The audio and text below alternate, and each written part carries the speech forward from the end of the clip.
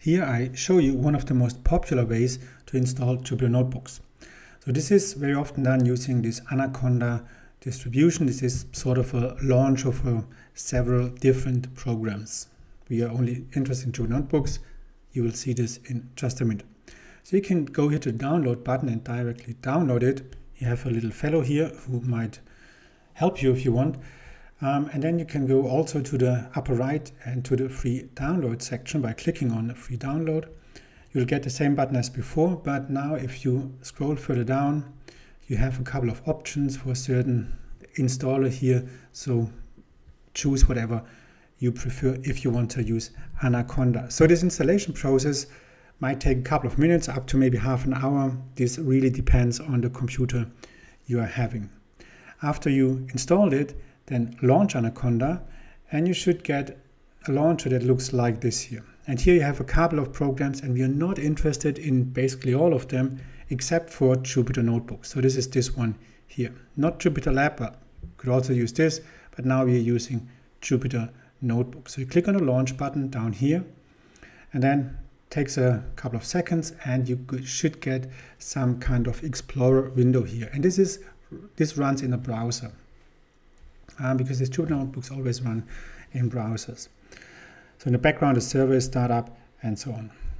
So here are a couple of Jupyter notebooks already. This IPy um, notebook is what a Jupyter notebook um, ending is. I just want to start a new notebook. So I click on new on the upper right corner, go in Python 3, click it, and this is my Jupyter notebook. This is how a Jupyter notebook looks like. And here we have something that is called a cell. And now I can start writing a program within this cell. For example, I type in 2 plus 5 and then I go on run or I can hit on a Mac command and shift and on Windows it's something like otherwise just click on run and you have your output here. So this is already the first Python program basically you wrote here.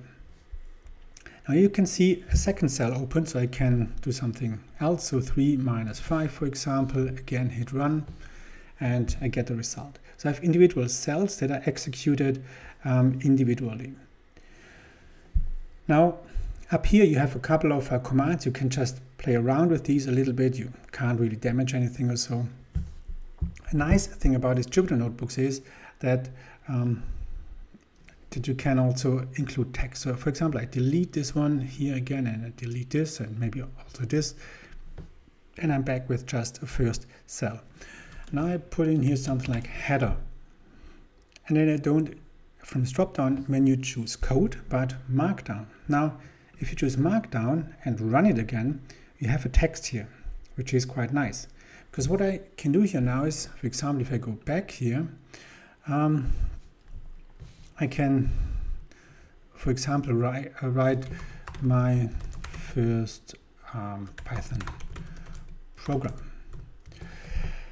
And then I can use markdown commands. If you don't know them, that's not a problem. If you know them, this will look familiar. So you can make hashtags here.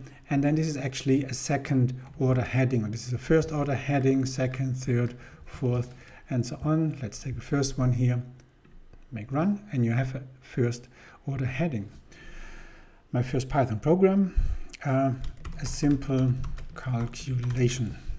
And again, this should be markdown. I run it and now I make a simple calculation, 3 plus 4. And now I make a space in between because it's just a little bit more readable.